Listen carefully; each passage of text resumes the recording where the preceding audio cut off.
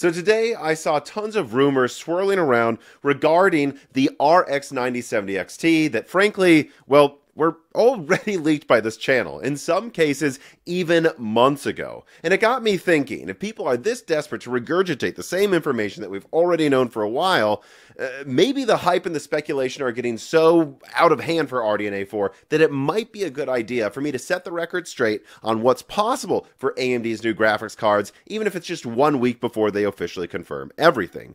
It's because it's just getting so bad out there that even AMD has had to personally shoot down rumors about about things like a 32 gigabyte 9070 XT happening at launch. And on that note, let's be very clear about this. There have been 9070 XTs and 9070s in stores backrooms for over a month now. That means they've been there, the specs, and that includes 16 gigabytes of VRAM capacity. That's very much so locked in.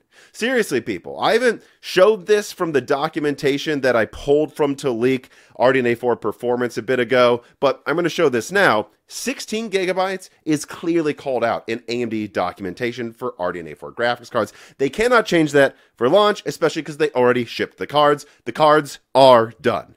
Okay, but here's the thing though. I do actually still think that eventually 32 gigabyte cards or faster clock cards could be possible later. And that's because we've already seen that many models from AIBs can supposedly hit 3.1 gigahertz at stock. So the potential for very highly clocked, higher tier models of the 9070 XT are plausible. Even if that wasn't AMD's initial plans, as we've seen confirmed from cards already being in stores. But you know what?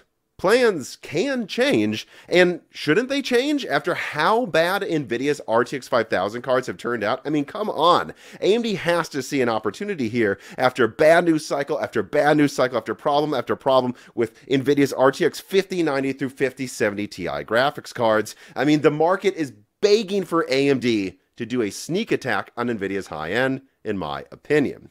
And that gets me to the subject of today's video, which is that I believe there definitely is room, even if it's not happening immediately potentially, for AMD to pull another 7970 gigahertz edition move whereby they surprise Nvidia after initial launch with a stronger model with far higher clocks and a higher TDP that puts a strong presence in the high end market that NVIDIA wasn't expecting. In fact, that worked so well with the 7970 gigahertz edition, especially with how well that architecture aged relative to NVIDIA's at the time, that eventually AMD was just able to start blatantly marketing the 7970 gigahertz as a tier higher than the 80 class card of the time. That was a huge marketing win for AMD, and I think they could do something similar again. Although I don't know that the 9070 XT gigahertz edition or whatever would do as well as that one did. But but here's what I think it could definitely do and what I think is possible. So First of all, I think that we need to understand, just saying this once again,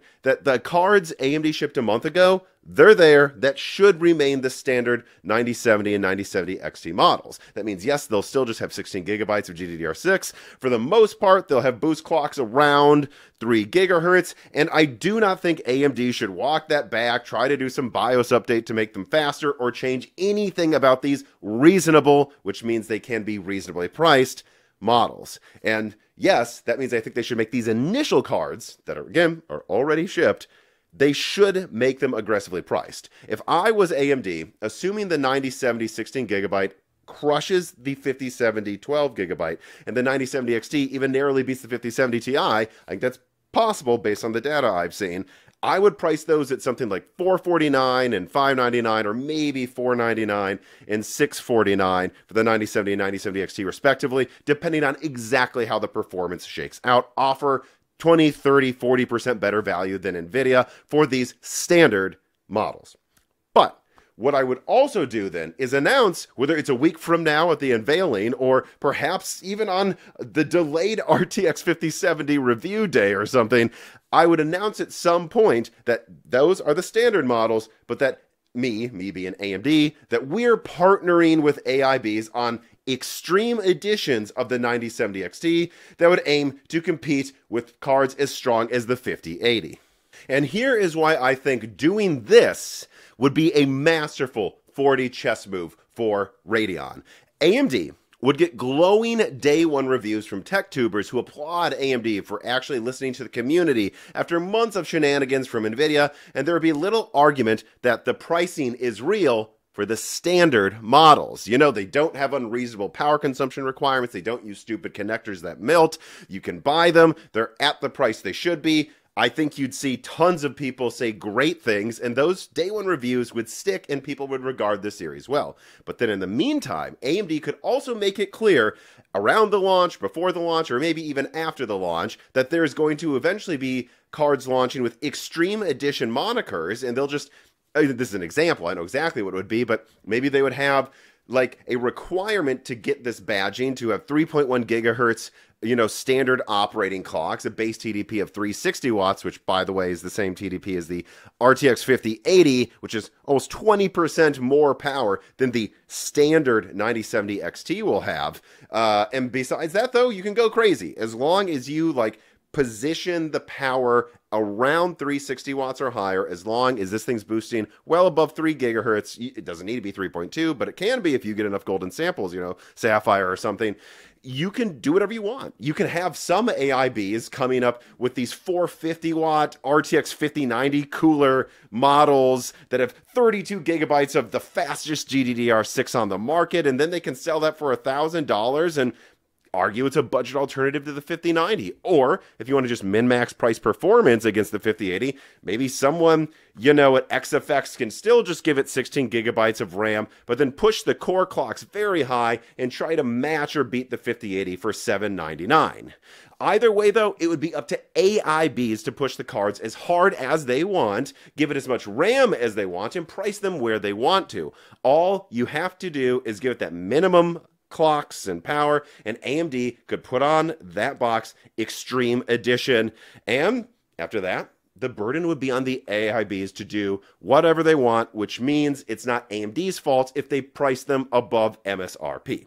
Now, I can already hear some of you typing in all caps that going above MSRP is anti consumer, but hear me out here there are shortages right now in the graphics card market, and NVIDIA sure as shit isn't doing anything to help with that. And this is, in my opinion, the most honest way that AMD could allow for pricier models to exist in the market while also being honest about which ones of their cards are actually at MSRP. And look, if nobody buys some hypothetical $1,000 32 gigabyte model, then AIBs will stop making it. But even if it was a limited run of that expensive 32 gigabyte model, I think that would give a black eye to NVIDIA and put some more pricing pressure, not just on the 5070 and the 5070 Ti, but it would allow AIBs to go crazy and put pricing pressure on the 5080, which, as a reality check for anyone who thinks it would be unfair for AMD to charge $1,000 for a 32 gigabyte 5080 killer, let's remember what the 5080 is actually selling for right now on eBay,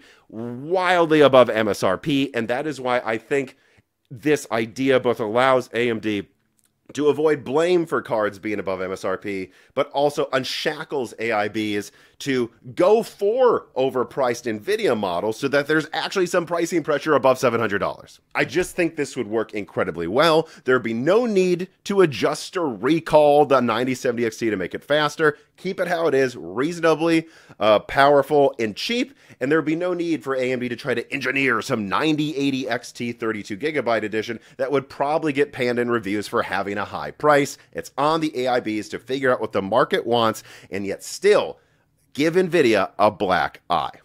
Now, to be clear, I have no information from any sources that this is what AMD is going to do. And I have no idea if they will do such a thing or if they will call something a 9080 XT.